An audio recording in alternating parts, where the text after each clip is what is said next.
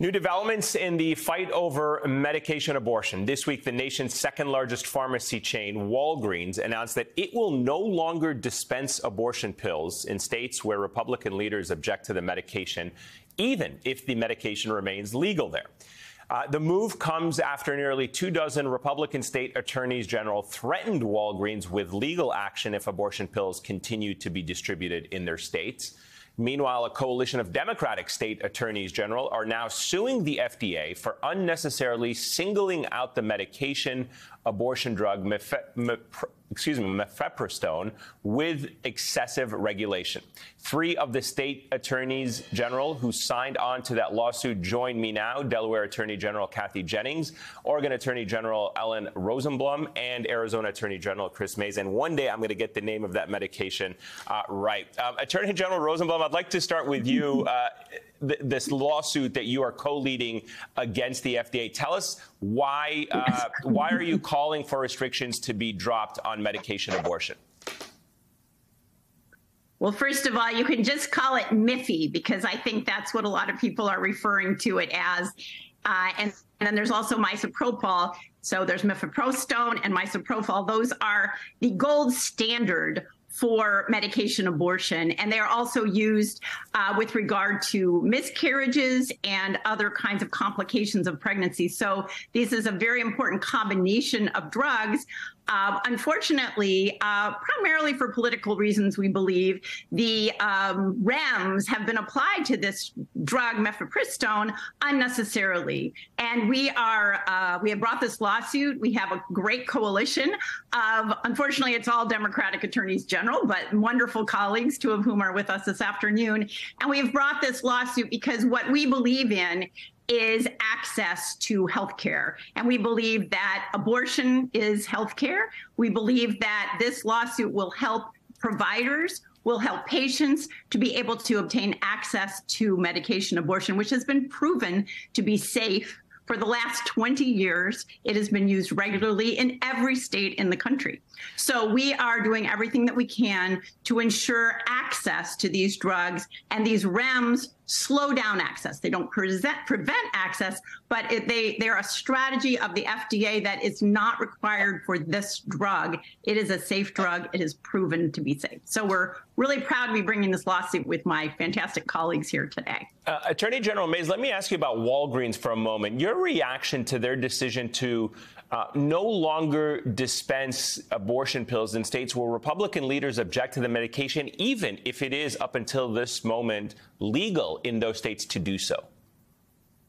Yeah, it's tough, and and and we we uh, are uh, among those states who have actually encouraged Walgreens and CVS and other pharmacies to continue to offer uh, the medication despite that pressure by Republican AGs. But you see, you see in that that effort by those GOP attorneys general to continue to try um, to uh, limit the access uh, of women to abortion in every possible way they can find. And, you know, despite the fact that Roe was overturned and it was sent back to states, they're still making these efforts in states to to limit a, a, woman's access to abortion, and that's why these actions by Democratic AGs largely um, are so important. We're going to continue that fight uh, going forward, and we've got a big Texas case coming up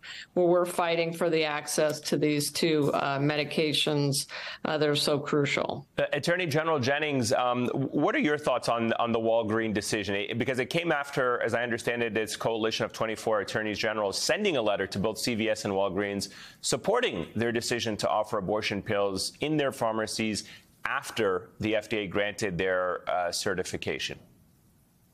Ayman, thank you for having us on tonight.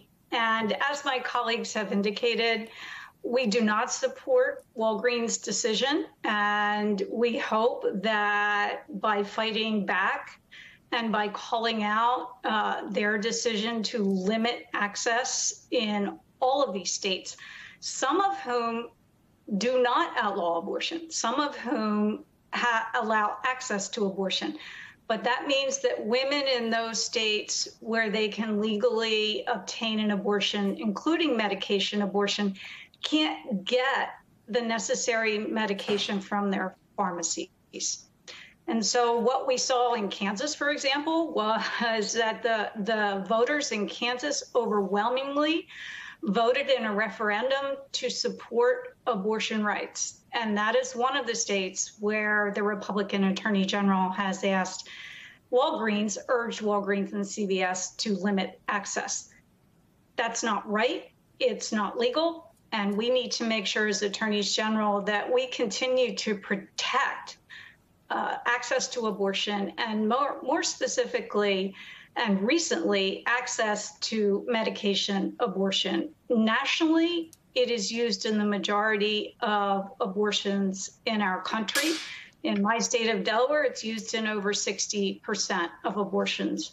And so it's incumbent upon Democratic attorneys general to band together, and we have, right. uh, under the leadership of Ellen Rosenblum and Bob Ferguson, uh, to make sure that mifepristone is accessible to as many women who need it in this country as possible. Uh, Attorney, Attorney, General Rosenblum, I, I want to ask you about, you know, we can all agree that the space for women's rights are, are, shrinking in this country, and yet you recently launched Oregon's reproductive rights hotline, which is actually trying to counter that, trying to provide free legal counsel to patients uh, seeking uh, abortion care. Talk to us about that step, what, what kind of reception it has had, what kind of legal advice can be offered in, in a country or in states that we're seeing or witnessing where these rights are shrinking by the day? Well, I'm going to give a shout out to my colleague Kathy Jennings because we actually copycatted her. Her state was ahead of us, along with New York. There are a lot of these abortion rights, uh, reproductive rights, really much more expansive than abortion hotlines now because we want to make sure that anybody who's confused or has questions has a place to go to get their questions, their legal questions answered. Uh, we've had a good response.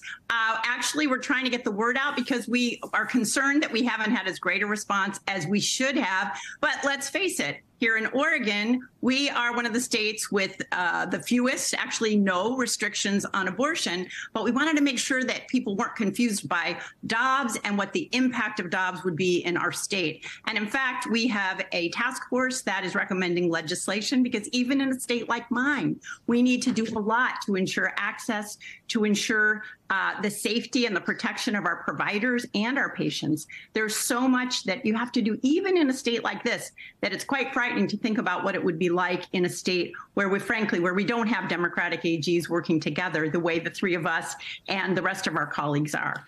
Uh, Attorney General Mayes, I was talking to my colleague Alicia Menendez on the top of the show uh, about how things that are happening in states may affect the rest of the country, and we shouldn't ignore them. You have a Texas Republican lawmaker who just introduced a bill that seeks to ban access to websites that sell or provide information on how to obtain uh, abortion pills.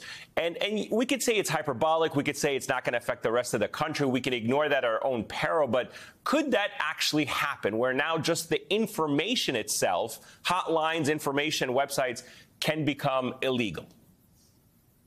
I mean that that is uh, the danger, and I'll I'll just add that I I am about to stand up a reproductive rights unit in my office, following my colleague's example, um, to address this very uh, type of scenario. You know, if you, have a state like Arizona that has a Republican legislature, thankfully we have a Democratic uh, attorney general and a Democratic governor now who will stop that kind of thing.